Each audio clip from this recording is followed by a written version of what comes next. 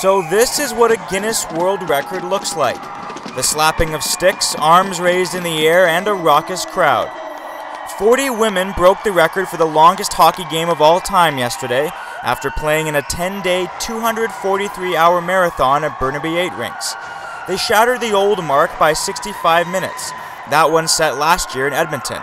In the process, they raised awareness and money for cystic fibrosis research. After it was over, the players basked in their achievement and were joined by family, friends, and a throng of media and spectators that filled the ice. And some well deserved rest was about to ensue. I, I, can't even believe that it's over. It seems very surreal, and uh, that's a word I've used a lot these last 10 days. We're pumped. We just wanted to finish it, and yeah, it was good. It's it's amazing. It's amazing. We, we went through some finished now is uh, is absolutely amazing.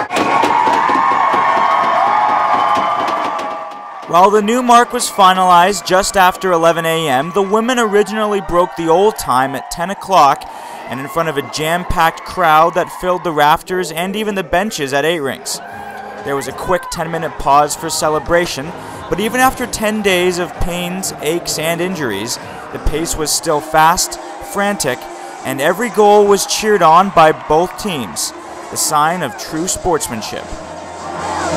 Everybody, for 10 days, we couldn't play like that. Like that, that was too much. But uh, it was funny when the crowd comes out, you can't help but uh, have a little bit more emotion, and people are cheering you on, and you're trying to do everything you can, and uh, it's it's actually a lot more fun to play at that speed.